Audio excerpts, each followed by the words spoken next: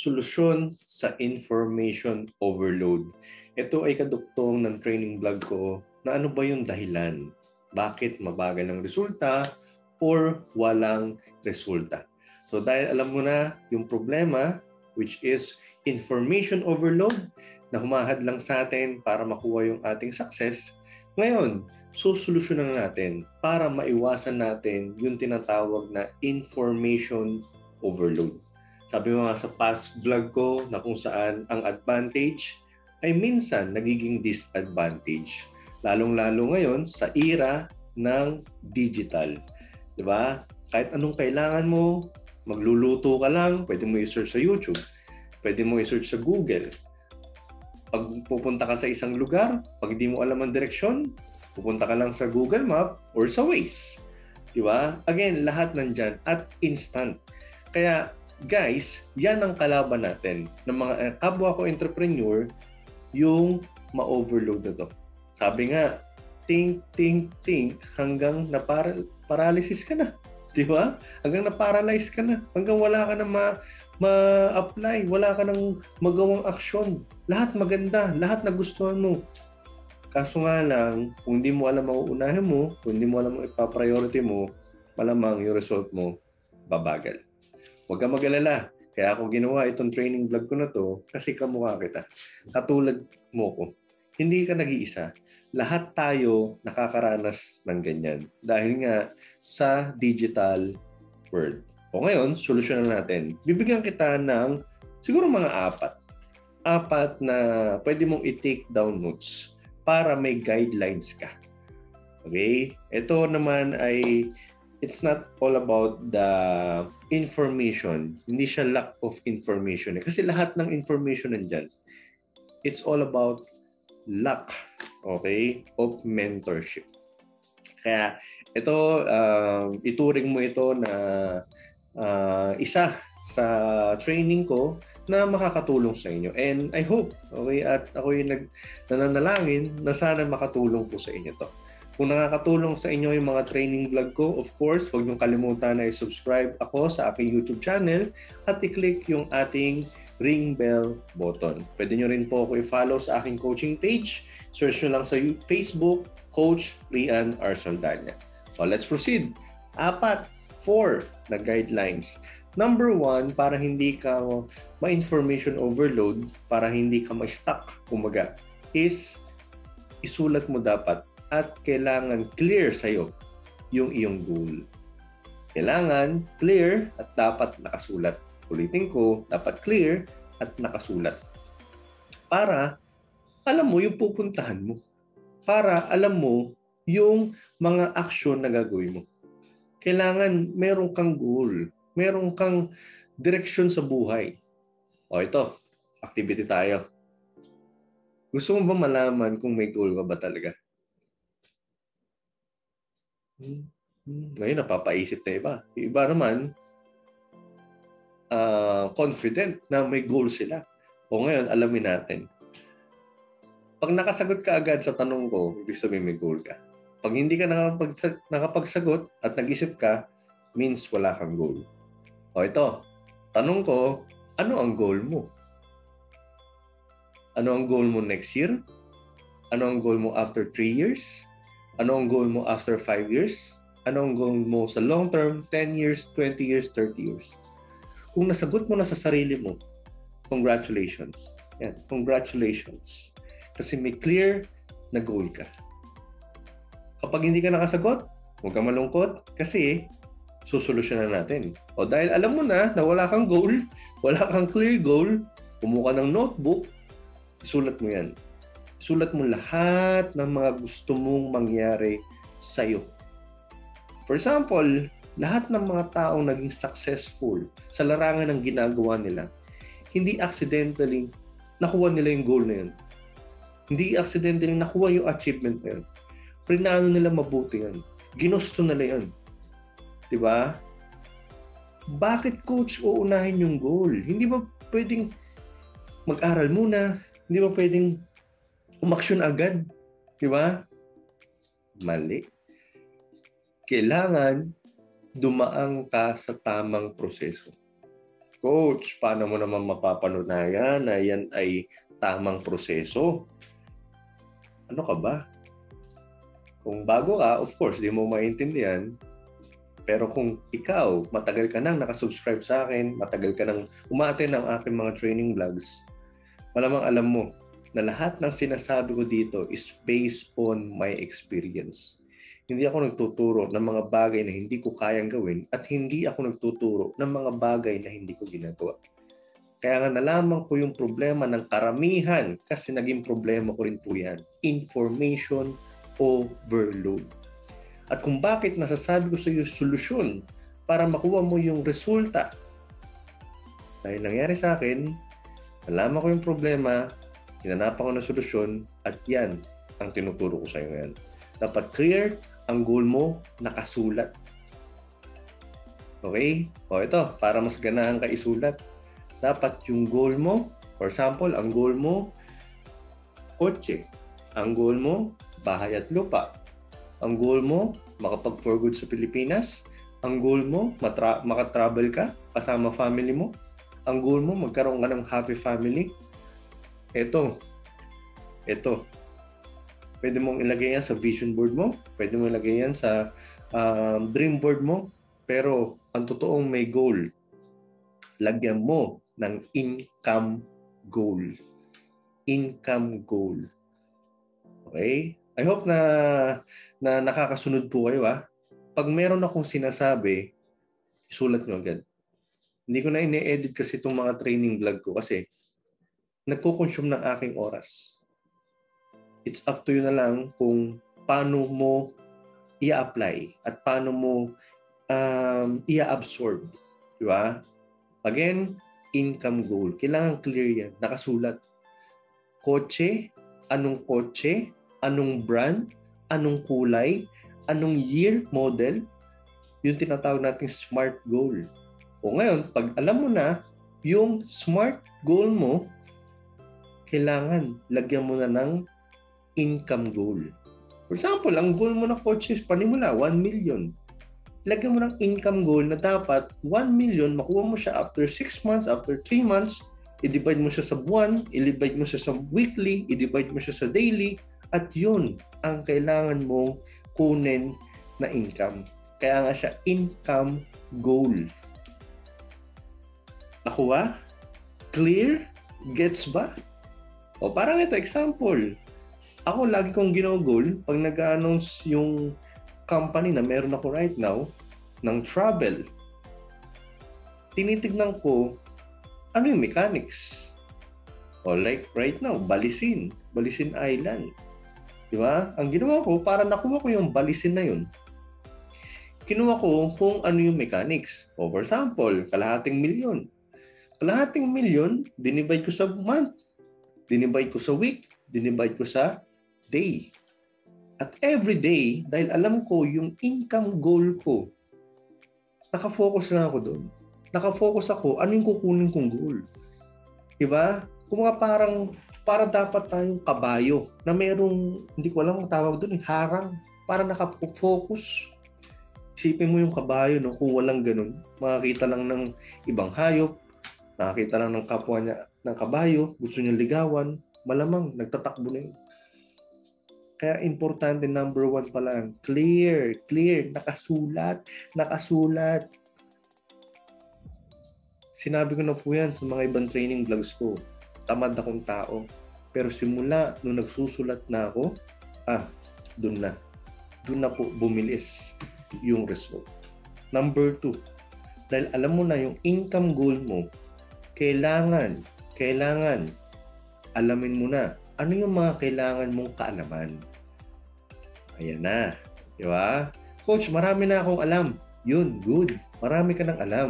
So, tatanggalin natin yung hindi mo kailangan at iiwan natin yung kailangan mo para makuha mo, alin, yung income goal. Kailangan mag-focus ka lang.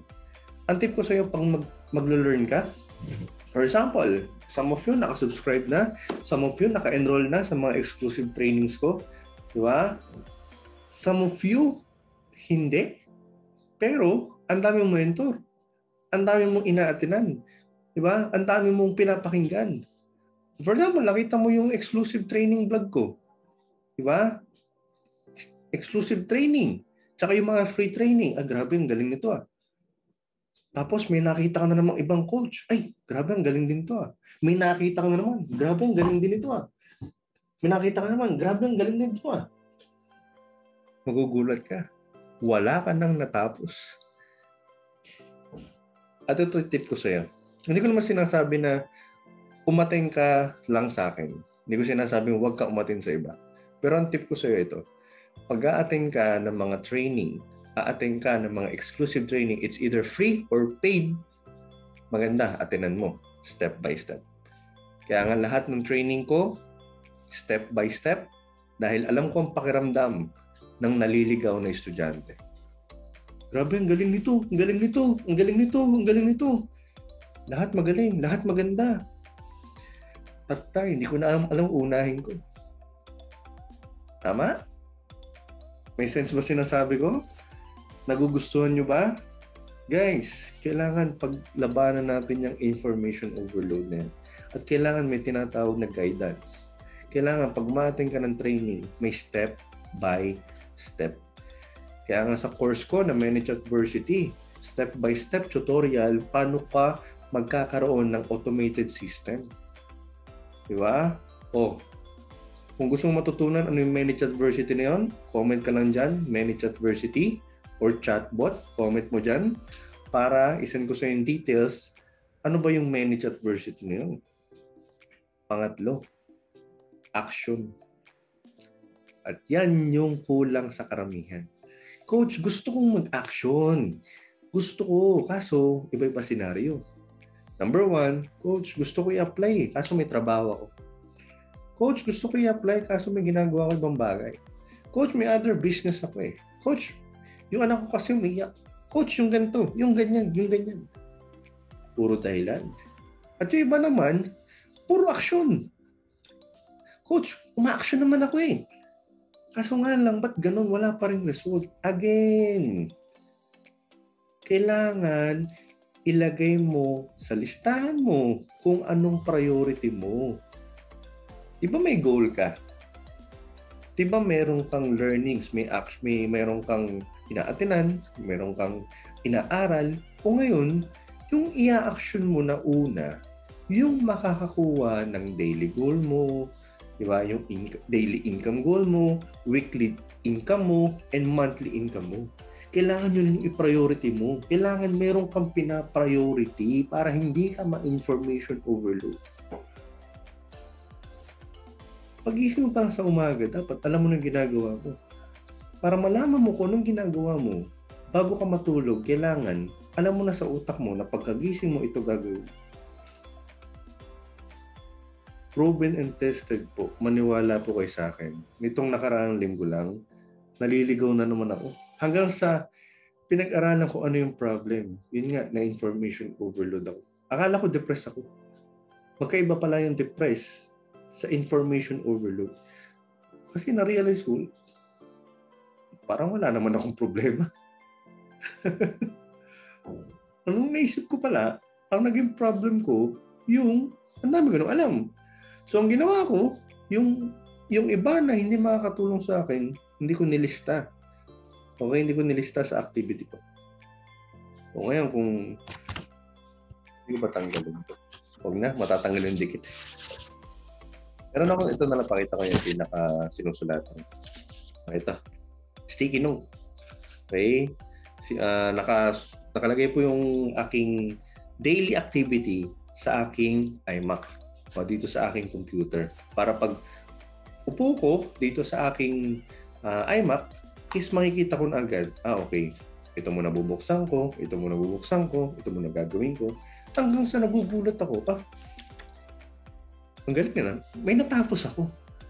Samantalang dati, nung wala akong ganito, yung daily activity, para akong ano, parang, parang sumasakit ang ulo ko, parang, parang, parang walang, wala akong production ngayong araw na to. Kasi alam mo kung bakit? Ang dami kasing distraction ito nakalagay nga dito. Pag, for example, mag-open ng YouTube, i-close ko yung Facebook. Okay? O pag mag-open naman ako ng Facebook, i-close ko yung YouTube. So, ganun. Samantalang dati, ito, uh, kung, kung nakikita niyo yung kapag nag-share screen ako, di ba, ang dami lagi, bro, ano, ang dami laging tab. O ngayon, laging isa or dalawa na lang para nakafocus ako. At promise guys, promise, proven and tested. Okay? Proven and tested. Tapos ito pa, yung action, magpag-guide ka. Magpag-guide ka sa mentor mo. Meron kayong system, kung meron ka ng system, mag-focus ka na dyan. Kung meron ka ng ina na mentor, makinig ka na dyan. Huwag ka nang, huwag ka nang palipat-lipat. Ang tip ko sa'yo ganito, yung system na meron ka, yung mentor na meron ka, kung ano sinabi niya, sundin mo for 90 days. 90 days, 3 months. Pag walang result, doon ka mag-change. Hindi yung isang linggo pa lang. Change ka na ng change. Ang magaling to eh. Magaling, magaling. Lalo sa sa news feed, ang daming lalabas dyan. Mag, mag-o-offer ng mentoring. Mag, ang daming lalabas dyan mag, maglalabas ng course. Hindi ka pa nga tapos sa isa. Pupunta ka na naman sa isa.